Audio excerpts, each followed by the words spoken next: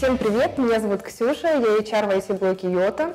А, сегодня я хочу вас познакомить с IT-директором а, Андреем и руководителем отдела бизнес-анализа Нарине. Нарине к нам подойдет через минуту, а Андрея мы подключим по конференц-связи. Привет. Привет. Девчонки, привет. Как дела? Андрей, привет. Мы хотим рассказать кандидатам про Йота и IT-команды. А, так как мы быстро растем и развиваемся, расскажи, пожалуйста, что сейчас происходит в IT-блоке у нас. Окей. Окей, давайте расскажу. А, начну с компании Йота. Компания Йота – это телеком-оператор, который а, очень много занимается именно IT-разработкой, с учетом того, что на специфика виртуальный оператор на Steam Мегафон. Мы в первую очередь э, дорожим нашими ценностями. Очень много уделяем этому внимания. Это в первую очередь софты на как бы, тех людей, которые у нас работают, и мы этому много уделяем внимания на собеседованиях и стараемся, чтобы в компании подали те люди, которые соответствуют нашим ценностям. Например, ценность человечна — это про то, что мы должны быть как человечны с точки зрения нашего клиента, так и с точки зрения наших сотрудников. Когда началась пандемия, мы приняли осознанное решение и мягко без проблем перешли на формат э, сменной работы. Кто-то, кто как хочет, работает из дома, из офиса, каждый был свой график, кто-то может быть постоянно на удаленке и жить в другом городе, кто-то может несколько дней писать офис, кто-то может быть постоянно в офисе. В общем, каждый был как ему удобно. Это то, как наша ценность человечная проявляется в отношении сотрудников. А с точки зрения клиентов, как вы понимаете, у нас нет токсичных услуг, у нас нет э, всяких навязанных вещей. Э, это человеческое отношение к клиенту. И мы ждем то же самое от наших клиентов. Если говорить про IT, что важно? Первое. Э, у нас 12 IT-продуктовых команд. Мы работаем по матричной структуре, в которой э, есть чаптеры, которые отвечают за экспертные треки по разработке, по аналитике, по архитектуре, поддерживают сообщество, развивают инструментарий, помогают с развитием компетенций и прочее. А где-то половина команд это своя разработка, и большая часть э, нашего, нашей архитектуры это своя разработка. Архитектура у нас микросервисная, по всем современным стандартам, используется очень много современных подходов. Если говорить про аналитику, о которой мы сегодня как раз говорим с точки зрения роли, а, направление у нас очень развитое с точки зрения рыночных стандартов, можно сказать, что оно впереди. А, детально все описывается, прорабатывается в Enterprise Architect. Нарина об этом чуть позже, наверное, расскажет. А, я горжусь тем, как построен у нас процесс аналитики архитектуры в целом в компании. Он позволяет очень дальше качественно держать историю с качеством, с тестированием а, и дальше прорабатывать последующее развитие инициативы бизнеса с учетом уже понимания, что как работает, и передачу знаний. Мы постепенно идем в сторону продуктовых команд вместе с бизнесом. Это наша стратегическая цель, а, постепенное выделение, формирование совместных команд с бизнесом. Мы в это верим. Нам кажется, что в этом будущее с точки зрения и самого продукта, его качества, так и с точки зрения скорости его реализации. А для телекома эта модель немного сложная из-за специфики ландшафта, но мы туда идем. Немного про проекты и про то, какая у них есть специфика. В телекоме в принципе, у нас в частности э, большинство проектов реализуются практически на всем ландшафте. У нас очень редко, когда бывают какие-то истории, которые мы делаем, которые касаются какого-то одного IT-сервиса, вокруг которого построена реализация. Частично что-то делается в системах идентификации, где-то в продуктовой истории, э, где-то в финансовой части, э, где-то с клиентскими данными. И все это между собой очень сильно взаимосвязано, разбито по разным командам, по разным сервисам.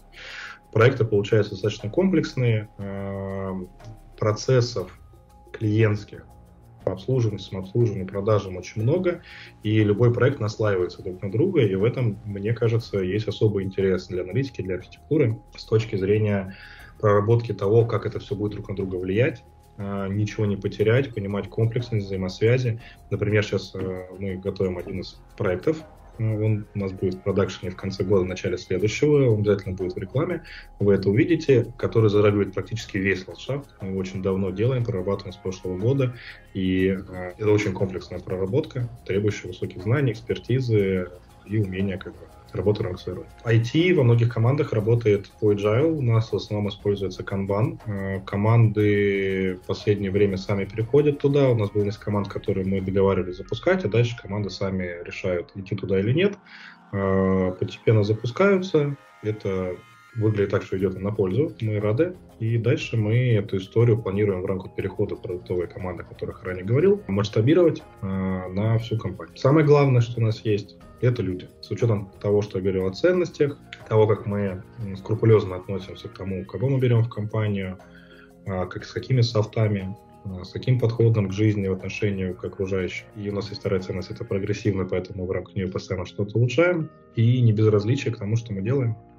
Этим мы отличаемся. Мне кажется, ключевое я сказал. Нарине, твоя помощь мне тоже понадобится. Расскажи, пожалуйста, про роль аналитиков в Йота. Как Андрей уже проговорил, у нас достаточно сложная структура, и э, аналитики у нас делятся на два типа. Э, первый тип – это solution аналитики. Э, их задача сказать, а что в целом должно быть реализовано, описать требования к нашему продукту в целом, например, к смартфонному продукту. И есть системные аналитики, которые находятся в командах IT-продуктов и которые детализируют требования уже к конкретному компоненту, э, который находится в зоне ответственности этой команды. Фактически у нас получается, что solution аналитик говорит, а, что должно быть в целом сделано. Архитектор уровня solution декомпозирует это в виде э, каких-то постановки задач для конкретных IT-продуктов, то есть он декомпозирует требования на э, компоненты и говорит, как оно должно быть сделано. А внутри IT-продукта системный аналитик уже детализирует э, те требования, которые были сформулированы в конкретную постановку задач для разработчиков. Окей, Нарине, расскажи подробнее, чем занимаются аналитики и какой инструментарий они используют в работе. Если более конкретно формулировать, какие э, артефакты готовят наши аналитики, то э, на уровне solution мы готовим use case диаграмму, мы готовим э, детализацию сценариев в виде activity диаграмм, мы описываем нефункциональные требования, бизнес-правила и в целом а, объектную модель или какие-то другие диаграммы, которые могут быть нужны в рамках конкретной узкой поставленной задачи, но традиционно это use case диаграмма с детализацией в Activity плюс описание бизнес-правил и нефункциональных требований. Что касается инструментария, мы используем Enterprise Architect, причем мы его используем именно как кейс-средство, а, потому что из-за сложности предметной области нам очень важно корректно проводить импакт-анализ.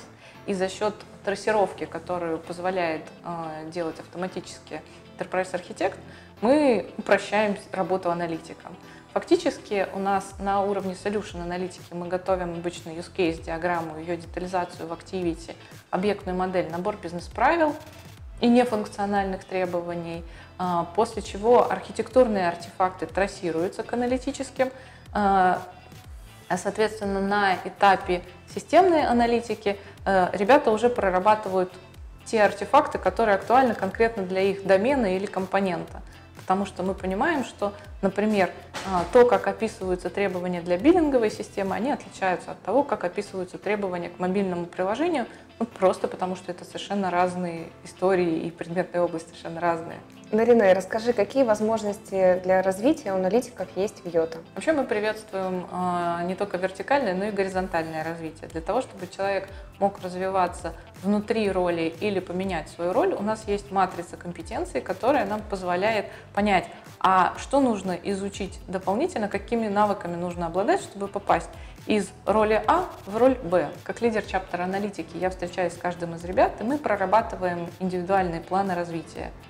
Мы подбираем вместе э, внешнее обучение или внутреннее обучение в зависимости от ситуации и помогаем человеку перейти в ту роль, в то целевое состояние, в которое ему бы хотелось прийти. Помимо этого у нас есть клуб аналитиков, где мы с ребятами разбираем какие-то особо сложные кейсы и вырабатываем best practices для того, чтобы в дальнейшем у нас подобных сложностей каких-то не возникало. Ксюш, мне тоже сейчас потребуется твоя помощь с точки зрения подбора. Расскажи, пожалуйста, как мы будем двигаться. Предлагаю пойти по стандартному пути. У нас нет растянутых этапов собеседований. Будет одна встреча, в рамках которой мы оценим и hard skills, и soft skills. Обязательно расскажем про компанию, про культуру и наши ценности. А анбординг у нас начинается еще до первого рабочего дня.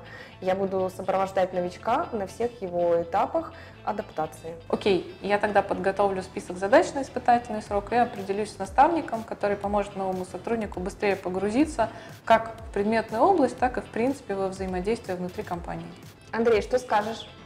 Если хочешь работать с классными людьми, получать удовольствие от работы, э, работать в рамках современных процессов, технологичного стека, пожалуйста, приходи к нам, у нас все это есть, но у нас будет очень строгий контроль по твоим софтам, по отношению к жизни, потому что нам очень важно, чтобы ты вписался в коллектив, и не только ты получал удовольствие, но и все вокруг от того, что ты работаешь.